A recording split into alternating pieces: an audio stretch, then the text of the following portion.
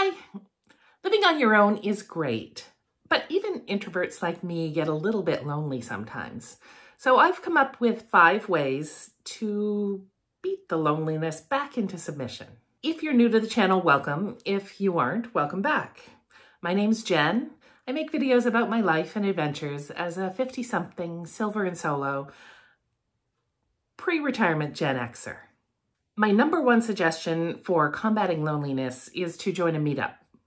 www.meetup.com is a website that you can go to and they've got events and meetups that you can join for free in most cases. It's all across the world. I'm putting links to the meetups for Canada, the US, Australia, New Zealand, and the UK in the description below but it is available in dozens of other countries as well. It's meetup.com. Anyhow, they have events and get-togethers scheduled by regular people like you and me who just want to get together with like-minded individuals and do their thing. It could be hiking, it could be walking groups, it could be a book club or a reading group, it could be people who like to knit. It could be anything. I've attended a couple of these meetups and they were really great when I first moved to Vancouver Island from Ontario. Ontario in Canada is like a five day road trip to Vancouver Island. Five days, not five hours. It's a five hour flight. So it's quite a ways from Ontario. And I was new here and I didn't know anyone. I didn't have any family. And so I attended a few meetups in order to sort of get to know the area. One of them was a hiking group that did a different hike through a different area park or walking area every week. And you could just show up at the meeting point. It was free and a whole bunch of people were already there. And then you would set off on the hike. And someone who knew about it, the organizer usually would tell you a little bit about the area and about cool things to do. And you would walk with the other people and just chatter along the way. It was really nice. The second meetup I went to was really cool because it was to learn about Nordic pole walking, which is just walking with the sticks, you know, for better balance and everything. So I went on this Nordic pole walking meetup and the organizer was a woman who was incredibly passionate about Nordic pole walking and she was incredibly knowledgeable about them and it was quite intense. She was a very intense woman, but we ended up taking a beautiful walk around Victoria's Inner Harbor using these Nordic walking poles.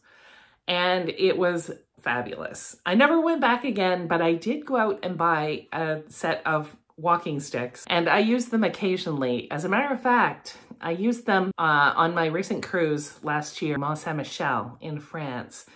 And it's an ancient monastery from, I think, the 1100s. And there are 300 steps that you have to climb to get to the top and see the abbey and the monastery and look at the beautiful view. And so I really learned a lot during that meetup and I really enjoyed it. And if you are into learning about new things or just getting together with some like-minded people, check out your local meetup group. My second suggestion is to check out the local sports and recreation teams at your recreation center or community center. I know that when I was looking for something to do, something to get a little socialization in, I enjoy playing sports. And so there was a paddling club close by. Now, had I ever paddled before? No. I mean, I've been in a canoe before, but I had never paddled like as a sport or anything. I just decided I would go down and I would ask about it. It ended up that I paddled uh, an outrigger canoe for six years, and I also dragon boated for another three years. And all of this, I had no prior experience whatsoever, but I just went and asked. And they had a really great community and a really great club. And it was lots of fun with lots of events to go to all year round. And there was practice once or twice a week. It wasn't really difficult, but it was very challenging and it was a lot of fun. But I never would have known about it if I didn't ask. If you go down to your local recreation center, there will also be notice boards for people looking for recreational members for teams such as pickleball, such as volleyball and field hockey and soccer and softball, everything you can imagine. My local recreation center also has full slate of aquarobics and water fitness classes that run the entire year long. They also have specialty fitness classes for older adults, yoga and weight training and chair fitness. There are dozens of activities and classes and clubs to join. And it's a really great way of meeting people. And even if it just gets you out for a couple days or a couple weekends a month, then that's great. My third suggestion is crafts or hobbies. Find like-minded people who like to do the same crafts or hobbies that you like to do. For me, I recently made a video extolling the virtues of a stained glass making class that I went to. I had seen it advertised, and again, I have never done anything with stained glass, but I enjoy looking at stained glass windows. And they had this class, it was for a full half day, and you got to keep a window that you made at the end of the class. I had a ton of fun and spent the entire half day just fully engaged with trying to make my window, which I believe is fairly rustic. Here it is. My one and only attempt at a stained glass window. And I still haven't put it up yet, but I will. And would I go back to stained glass making? No, probably not. It's not really my thing, but I'm glad that I took the class and I got to meet a bunch of cool people. I've also done the same thing, finding classes in pottery, made this little dragon egg in my pottery class.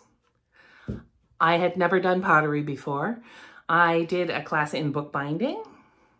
Never had anything to do with bookbinding, but it looked really cool and it was. I adore bookbinding. If I could find another class or a course to do for that, I would. Again, try community centers, try thinking of a craft or a hobby that you would like to try, but you don't have any experience or skills, but you'd still like to try it try Googling something like that. I'm sure that there are courses and classes available all around you and you just haven't thought of that before. It's a great place to meet people and I know that I made two friends in my pottery class that I'm still in touch with today. My number four suggestion is something that happens a lot around here on Vancouver Island. We have a lot of environmental groups who hold information sessions, mini TED Talks about wildlife, about flora and fauna, um, seaweed gathering. I haven't done that one yet, but I'm quite intrigued actually. But also the local garden center holds sort of symposiums and events about growing herbs and how to use them. There's also a shoreline cleanup on Vancouver Island, but also I think on the mainland as well, which are local events where you get together with just a bunch of other volunteers and you walk along the beach cleaning up and then they provide sandwiches and drinks and usually everybody hits a pub or something afterwards. Events like that, if it's up your alley, are really great ways of meeting local people who are of the same mindset that you are. My fifth suggestion is uh, library and community organizations that hold events and clubs like book clubs and knitting circles. I know that my local library holds a, a knitting night once a week and also the local high school doubles as a community center and they have a maker space. And I'm not sure if anyone else has heard of that, but it's an open source space that anyone can visit. And they've got all sorts of tools. They've got sewing machines. They've got a wood lathe. They have tables for doing crafting and design. And you can just drop in and it's free and someone will be there who knows how to do these things and they can help you with your craft. Perhaps you have some talents that you might be able to share in a manner like that. Or if you have a craft or a hobby, you may need some help and there's a makerspace in an area close to you. There are also several service organizations in the little area where I live. One of them is the Lions Club and Lionesses, and there are several others. And I know that my neighbor across the street, who is 92, she volunteers at Meals on Wheels and takes prepared meals to people who cannot get out of their houses or who find it difficult to make meals on their own. She does that on a volunteer basis and helps make the meals down at the local church. And places of worship are a great place to meet people too.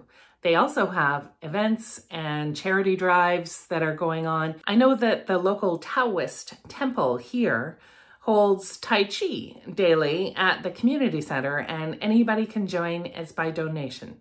I've always wanted to learn Tai Chi, and that might be a good thing to put on my books and check off a box. But it's also a good way to meet people too. Now, I'm comfortable being in my own company, and I don't like to socialize a whole bunch, but I do like to get out and I like to talk. And I know getting myself out of my own head and out of my own space out in nature or out doing a craft or a hobby or something new that challenges me, it always makes me feel a lot better in my headspace after I've done it. So I know it's beneficial for everyone, even for introverts like me. If you're saying to yourself, there's nothing in my area, there's nothing close to me that I like, there's nothing that I can do, I challenge you to do something that you don't know how to do. I challenge you to do something that you've never had any experience in and you're not sure what it is. It's only going to be a couple hours. Go out and try it. Give it your best shot. You may end up liking it. I mean, I had never paddled an outrigger canoe before in my life. I'd never heard of that. I have no experience with that. The thing is that I put myself out there and I tried and I had a really great experience out of it. If you're only looking at things that you already have experience with, that you're already good at, that you already know about, that you already know that you like, then I think that you're missing out on a lot of opportunities for socialization, a lot of opportunities for new experiences, and a lot of opportunities to really enjoy yourself. Put yourself out there and try something new. Let me know in the comments if you have any other suggestions for people to just get out and socialize if they are living alone and they don't like that.